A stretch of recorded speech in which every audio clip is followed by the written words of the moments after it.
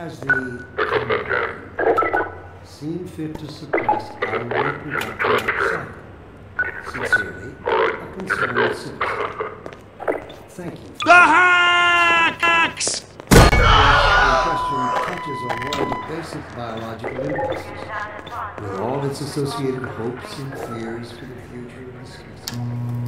I also detect some unspoken questions. Do our benefactors really know what's best for us? What gives them the right to make this kind of decision for mankind? Will they ever deactivate the system and let us breed again?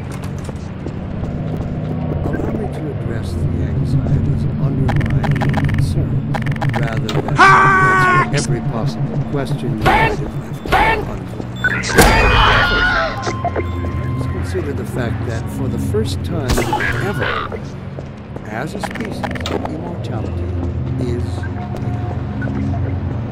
far